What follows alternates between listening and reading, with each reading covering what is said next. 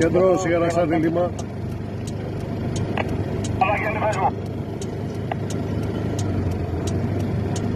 Το χρονόμετρο και οι δύο πρώτοι αθλητές μόλις περάσαν το 14.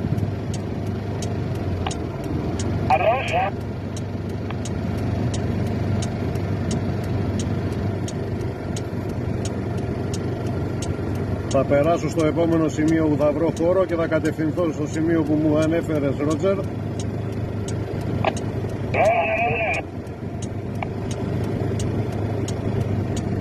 QSL